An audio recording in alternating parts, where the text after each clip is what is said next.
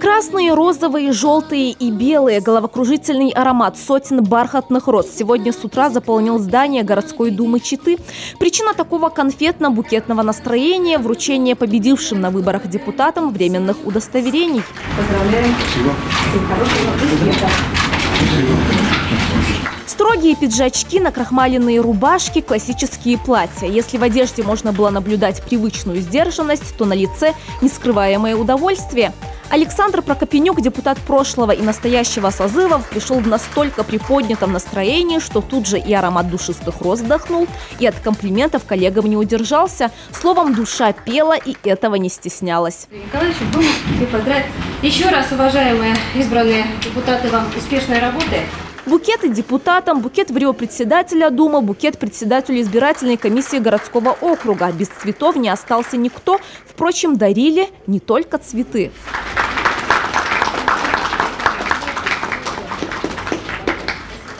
Оказалось, медовый месяц для новоиспеченных депутатов городской думы ограничивается только одним букетом. Никаких цветов в дальнейшем ждать не придется.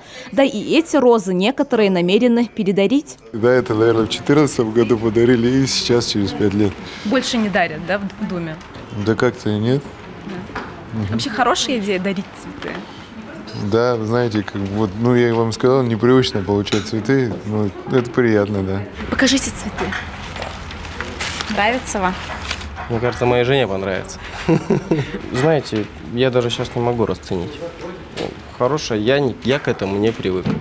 Когда все цветы были подарены, перешли к другому, более глобальному вопросу, а именно, какие кнопочки нажимать, чтобы проголосовать «за» или «против», и как пользоваться микрофоном.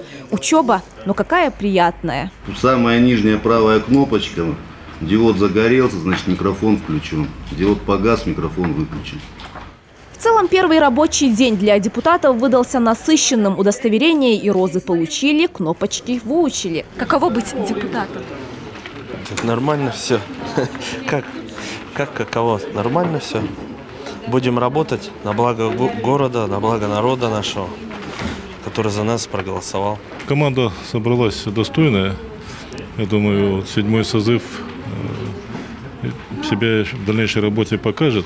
Всего в городской думе сейчас 30 депутатов по 30 мандатам. Чего от них ждать, когда конфетно-букетный период закончится? Сладкой сказки и эйфории или сурового быта законных отношений с народом?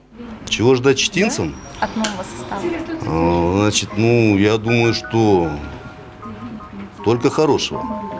Гулял Хасова, Николай Шунков, ЗАП ТВ.